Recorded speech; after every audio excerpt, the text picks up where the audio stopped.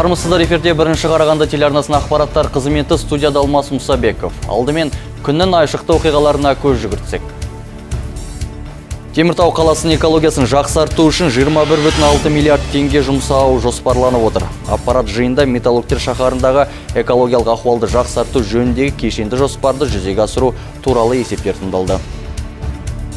Мұндаған түлектер үшін ұйқысыз түндер мен мазасыз күндер аяқталды. Облысымызда ұлттық бірыңғай тест өз мәресіне жетті. Ақпаратқа сай аймағымызда ең жоғарғы 140 балды жинаған оқушы жоқ. Қазақстан полициясына 26 жыл толуына орай облыстық ішкі департаментінің Нұрорда вокалды ансамблі кеншілер астанасын тұрғындар үшін ашық аспан астында концерт берді.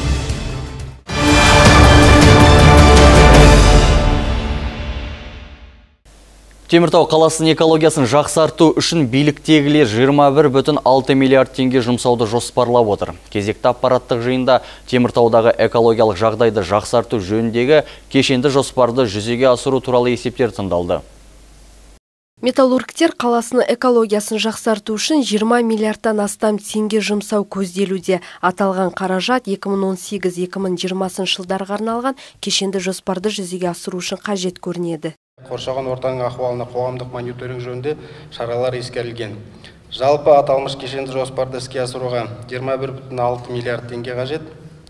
Бұл жерде жергілікті және облыстық бюджеттен 54 миллион 1 миллиард 300 миллион теңге республикалық бюджеттен 19 миллиард теңге инвестициялар және де 973 миллион Ә, зайымдық қаржылар мен біріккен ұлттар ұйымының даму бағдарламасының гранттары Биылдың өзінде Арселор Миттл Теміртау металлургиялық комбинатының қоршаған ортаға келген зияны 1 миллиард теңгеден астам сомаға бағаланып отыр. Осы орайда облыс әкімі Ерлан Қошанов қолайсыз ауа райы жағдайында өңірдегі барлық кәсіпорындар жұмыс режимін ауыстыру тиіс екенін атап өтті. Сіздер талдауда айына бір рет қана өткізесіздер ме? Біздің қазгидромет ауа райын болжамын жүргізгенде егжей тегжейлі қарап, қандай режимде жұмыс жасап жатқандарын біліп отыру қажет. Департамент болсын, комбинат тарапынан болсын, қандай әрекеттер болғанын бақылап отыру керек қой. Жарты жыл болды осы мәселемен айналысқаныма. Бұл ең өзекті мәселе сондай ақ аймақ басшысы ерлан қошанов өз қарамағындағы қызметкерлерінен келесі баяндамада құр сандармен шектеліп қана қоймай әр кәсіпорынмен өткізген шара бойынша нақты талдау жасауларын талап етті. Это вот управление наше. Сіздер құр сандарды көрсетпей маған әр өткізген шараның нақты талдауларын көрсетіңіздер. Қанша шара орындалды қаншасы қалды әлі қаншасын орындау керек осының бәрі назарда болу қажет. Бұл сонда кімнің жауапкершілігі? Ерлан қошанов арнайы жұмыс тобының мүшелеріне бұл мәселені ерекше бақылауға алуды және теміртаудағы экологиялық жағдайды жақсартудың кешенді жоспарының барлық тармақтарының орындалуын қадағалауды тапсырды. Айжарқын сейсен жасұлан мақұлбеков дастан шанин бірінші қарағанды телеарнасы. Мемлекеттік қызметкерлер мерекесі қарсаңында облыстық әкімдікте салтанатты жиын өтті. Аймақ басшысы еліміздің өркендеу жолында елеулі еңбек етіп жүрген бірқатар қызметкерлерді құрмет грамоталарымен марапаттады. Мемлекеттік қызметкерлердің кәсіби мерекесіне орай ұйымдастырылған жиынға сала ардагерлері облыстық аудандық әкімшіліктердің өкілдері шақыртылыпты. Аймақ басшысы өз сөзінде ел президентінің заман талабына сай мемлекеттік қызмет жүйесін құруға ерекше көңіл аударып отырғандығын айтты мемлекет басшысы жүргізіп отырған реформалардың арқасында бүгінгі күнде мемлекеттік қызметшілердің абыройы асып келе жатыр. Бүгінгі күнде жыл сайын артып келеді. Міне осында отырған әрқайсыңыз мен мемлекеттік әрқайсымыз мен мемлекеттік қызметшімін деп бүгінгі күнде мақтанышпен айта аламыз деп мен ойлаймын. Мемлекеттік қызметте кім жұмыс істеу керек? Ең алдымен адал таза азаматтар жұмыс істеу керек. Жауапкершілігі мол азаматтар істеу керек. Сонда ғана бұл азамат бұл қызметтің абыройы артады. Сонымен қатар сіздер таза болсақ біз таза болсақ қоғам да тазарады. Мерекелік жиын марапатсыз өтпеді. Бұл жолы ауыл шаруашылық басқармасының жетекшісі сағынжан апақашев үздік мемлекеттік қызметші төс белгісін иеленді.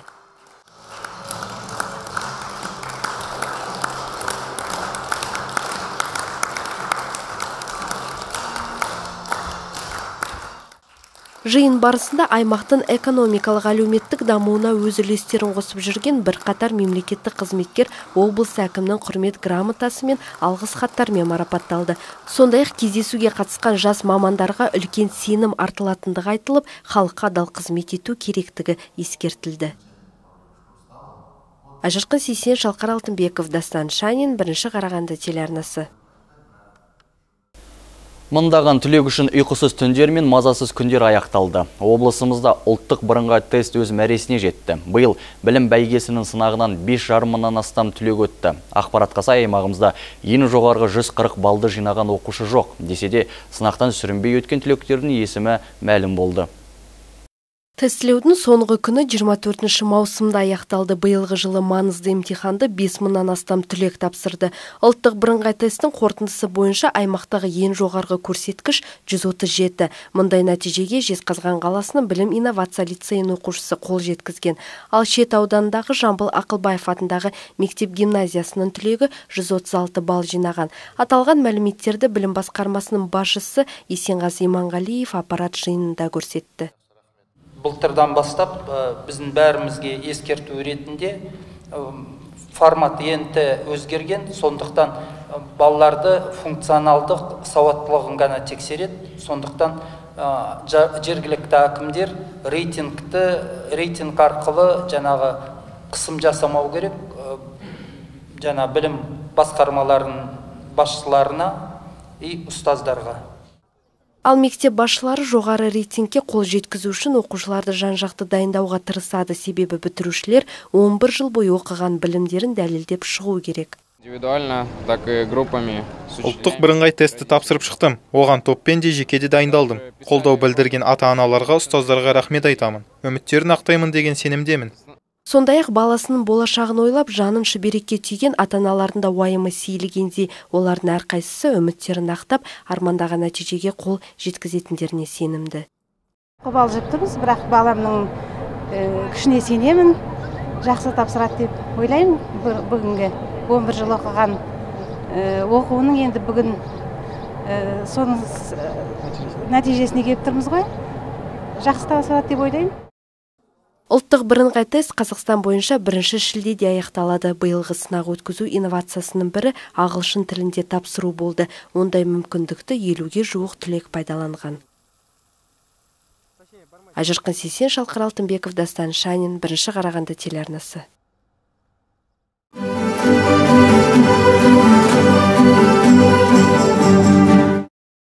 Ертеде қазақ хандығында хан мен ханым болыпты. Олардың үш ханшайым қыздары болыпты. Бір кезде ханшайым қыздарға жауыз сиқыршы инфекция қарғысын салды. Бірақ хан мен ханым таңғажайып вакцина балаларын аурудан құтқаратынын білді. Міне ертең біз әдеттегідей екпе жасатуға барамыз. Қазір ұйықтайтын уақыт келді. Қазақстан республикасы денсаулық сақтау министрлігінің салауатты өмір салтын қалыптастыру проблемаларының ұлттық орталығымен дайындалған.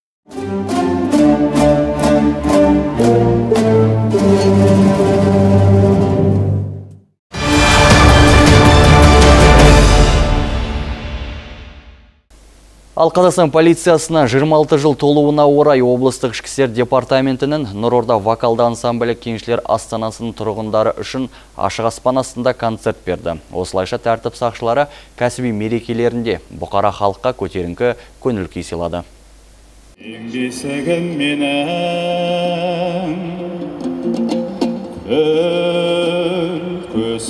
менің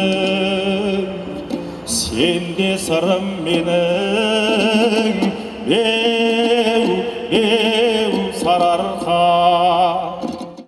Полиция сапындағы талантты қызметкерлердің басын қосқан Нұрорда ансамбліне биыл 5 жыл толып отыр. Осы уақыт аралығында өнер ұжымы аймағымызбен қатар еліміздің басқа да өнерлеріне өз шығармашылықтарын таныстырып үлгерген.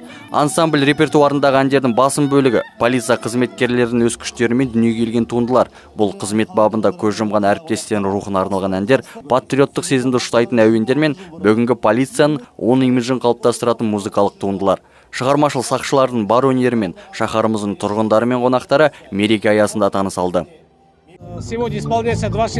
Бүгін Қазақстан полициясының құрылғанына 26 жыл толып отыр. Осыған орай тәртіп сақшыларының күшімен қала тұрғындарына концерттік бағдарлама ұсынып отырмыз. Бағдарламадағы барлық әндер, әуені мен сөзін полиция қатарында қызмет ететін әріптестеріміз өздері жасаған туындылар. Біз халық пен полиция жақын болғанын қалаймыз. Бүгін Қазақстан полициясының күні екендігін көпшілікке жеткізу мақсатында Бұқараға шығып отырмыз.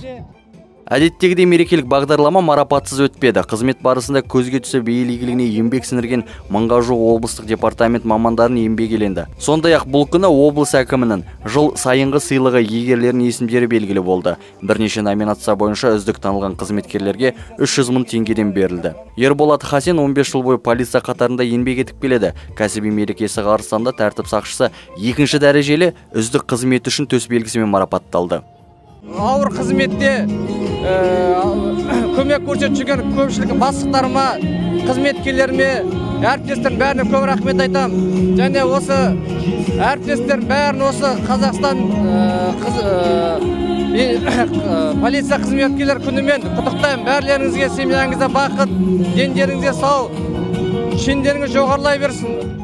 Екі сағатқа жалғасқан концерттік бағдарлама барысында көрермендерге жедел әрекет ететін арнайы жасақ сарбаздар өз қабілеттерін көрсетті. Бұдан кейін облыстық департаменттің кинологиялық қызметіндегі төрт аяқты адам достары да өз мүмкіндіктерін паш етіп көпшіліктің қызығушылығын тудырды. 26 жыл ішінде қазақстандық полицейлер қоғамдағы тыныштық пен ел берекесінің сақшысы бола білді. Қызмет бабында ерлікпен қаза тапқан жерлестеріміз де жеткілікті. Марқұмдардың есімдері әр жыл сайын түрлі шаралар арқылы ұлықталып жатады. Тәртіп сақшылары сала ардагерлері мен ерлердің есімдері ешқашан ұмытылмақ емес дегенді алға тартады.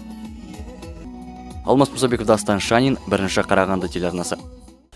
Мағынасыз аудармалар әріптік қателер мен оңды солды қойылған тыныс белгілері. Тіл мамандары көрнекі ақпараттардың сауатсыздығын айтып дабыл қаққанымен жарнамадағы қателіктер азаяр емес. Осыған орай шаһарымызда көрнекі ақпарат пен сыртқы жарнамалардағы тіл нормаларын сақталу тақырыбында облыстық семинар кеңесі өтті. Аталмыш шараға қалалық және аудандық мәдениет және тілдерді дамыту сәуле және қала құрылысы бөлімдерінің мамандары кәсіпкерлер жарнама агенттіктерінің өкілдері қатысты. Тіл мамандары кезекті рет көрнекі ақпарат пен жарнама сауаттылығы мәселесін көтерді. Әсіресе бұл тақырып жарнама саласындағы қазақ тілі нормасының сақталу турасында өзекті. Мұндай кемшіліктердің көбі аудармашылардың сауатсыздығынан жарнама жасаушы фирмалардың жұмыстарына салғырт қарағандықтарынан туындайтын көрінеді. Ал ең өкініштісі қателерге жол берген кәсіпкерлер заң жүзінде жауапқа тартылмайды. Тіл мамандары тек көрген қателері болса ескерту жасаумен шектеледі. Осы аталған мәселе мәселелерді түсіндіруге бағытталған семинар кеңесті облыстық тілдерді дамыту жөніндегі басқармасы ұйымдастырып отыр. Заңға сүйенетін болсақ тексеру шарасына біздің әзір қауқарымыз келетін емес. Өйткені қазір білесіздер кәсіпкерлерге елбасының жарлығымен мынау тексеріс жүргізуге мораторий жарияланған болады тыйым салынған. Сондықтан да біздің қазіргі негізгі жұмысымыз осы түсіндіру әдістемелік көмек көрсету бағытында жүзеге асып жатыр. Сондықтан да осы жұмысымызды ары қарай дөңгелетіп жыл соңында біз нақты қорытындысын шығарамыз. Облыс бойынша қанша қателіктер орын алып жатыр және олармен қалай күресіп жатырмыз қалай түзетіп жатырмыз дейтін мәселелер сараланып отырады. Әр жыл сайын жылдың соңында және тоқсанына бір рет жаңа айтып отырмын ғой рейд шараларымен. Осы бағытта міне осы мамандарды шақырып бүгін осындай үлкен келелі жиын ұйымдастырып отқан жағдайымыз бар. Семинар барысында қалалық және ауданнан келген тіл мамандарының баяндамалары оқылды. Онда облыс аумағындағы сыртқы жарнамаларда орын алған грамматикалық қателіктер аударманың сәйкес келмеуі және жауапты тұлғалардың жауапкершілігі мәселесі кеңінен талқыланды. Билбордтарда көшедегі түрлі ақпараттық тақталарда тіпті мекемелердің маңдайшасындағы әртүрлі ұйымдардың маңдайшасындағы маңдайшаларында түрлі стилистикалық семантикалық сәйкессіздіктер сол сияқты лексикалық қателер орфографиялық қателер тіпті морфологиялық қателер көрініп тұратыны бізге айқын. Біз көріп жүрміз. Бұлардың бәрінің болатын себебі менің ойымша жаңа қазақстан республикасындағы тіл туралы заңы мен қазақстан республикасындағы жарнама туралы заңының арасындағы қайшылықта болды деп тұр деп ойлаймын. Биыл жыл басынан бері осыған қатысты 254 заң бұзушылық анықталып оларды жою мақсатында ұсыныстар беріліп әдістемелік көмек көрсетілді. Нәтижесінде 142 қате қайта түзетіліп қалған 112-сіне түзетуге ұсыным берген. Сондай ақ көрнекі ақпарат пен жарнамаға сауаттылық айлықтары биылдан бастап әр тоқсан сайын яғни жылына төрт рет ұйымдастырылмақ. Айжарқын сейсен шалқар алтынбеков дастан шанин бірінші қарағанды телеарнасы. Қарағанды мемлекеттік техникалық университеті биылғы оқу жылында екінші мәрте бос жұмыс орындарын жәрмеңкесін өткізді. Бірақ бұл жолы аймағымыздағы ірі өндіріс ошақтарының сұранысы бойынша ұйымдастырылды. Айта кету керек, өткен жылы жәрмеңкеге келген оқу орнының 1326 түлегі еңбекпен қамтамасыз етілген. Бұл өте үлкен көрсеткіш. Ал бұл жолы 78 өндірістік мекеме 640 жас маман үшін таласқа түсті. Себебі техникалық саладағы жоғары білімі бар жұмысшы индустриалды аймағымызда үлкен сұранысқа ие. Бұдан бөлек еліміздің басқа да облыстарының өкілдері аталмыш жәрмеңкеге жұмысшы іздеп келген. Олардың қатарында Қазмұнайгаз ұлттық компаниясы, Шұбаркөл көмір, Жезқазған мыс қорыту зауыты, Арселормиттал теміртау секілді алпауыт мекемелер де бар. Алғашқы жәрмеңкеде біз түлектеріміздің 87 пайызын жұмысқа орналастырдық. Жұмыс берушілердің өтініші бойынша бүгін біз міне екінші мәрте бос жұмыс орындарының жәрмеңкесін ұйымдастырып отырмыз. 22 жыл бойы өткізіп келе жатқан жәрмеңке талай жас маманға үлкен өмірде өз орын табуға септігін тигізіп келеді. Бұдан бөлек түлектерді жұмыспен қамту мақсатында Қарағанды мемлекеттік техникалық университеті сайтында мансаптық өсу орталығы веб парақшасы жұмыс жасайды. Сол алаңда мекемелер мен компаниялар бос жұмыс орындары туралы ақпараттарды орналастырып қана қоймай, дайын мамандарды бірден таңдап ала алады. Алмас Мұсабеков, Дастан Шанин, бірінші Қарағанды телеарнасы.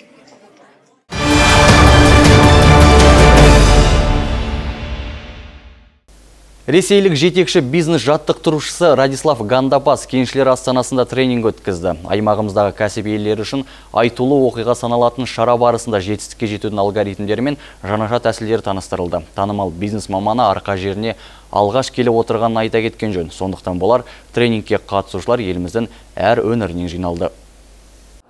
Кто собирался выйти замуж, два, года не.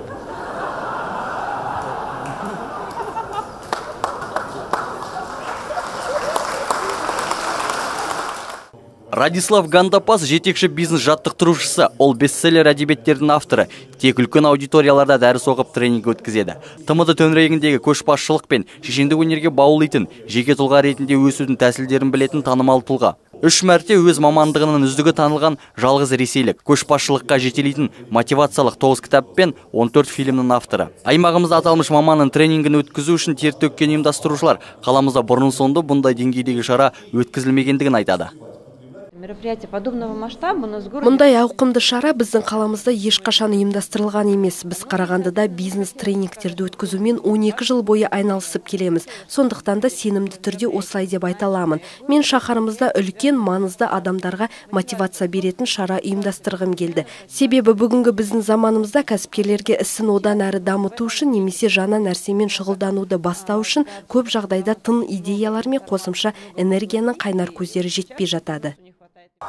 Тренингке қатысушылар спикердің дәрісін тыңдап қана қоймай, түрлі қозғалмалы ойындар ойнап та тәжірибе алмасты. Мұнда келгендердің көбісіне Радислав Гандапас есімі көптен бері таныс. Себебі ресейліктің сабақтары мен мотивациялық тренингтері ғаламтор беттерінде жиі кездеседі. Автордың өзі де әлеуметтік желілерде белсенді жұмыс жасайды. Сондықтан да шебердің тәжірибесін алу үшін кеншілер астанасына еліміздің өзге аймақтарынан да адамдар жиналды помогают развиваться как личности. Ол маған жеке тұлға ретінде дамуыма көмектеседі. Мен жарты жыл бұрын өз ісімді бастауға шешім қабылдадым. Сол себепті де маған өзімнің көшбасшылық қабілетімді, білімімді жетілдіру аса қажет. Оның тренингтерінен мен өзіме өте маңызды, пайдалы ақпараттарды аламын. Вообще Радислав Гандабас это такая... Радислав Гандабас адамға мотивация бере алатын тұлға. Мен үшін бұл тренингке қатысу өзімнің кәсіпкерлік ісімді жүзеге асыруға жаңа білім жинау. Тренингте пайдаға кенелу тәсілдері түсіндіріліп, уақыт пен энергияны үнемдеу және қуаттың қайнар көздерін табу жайында түсінікті тілде айтылды.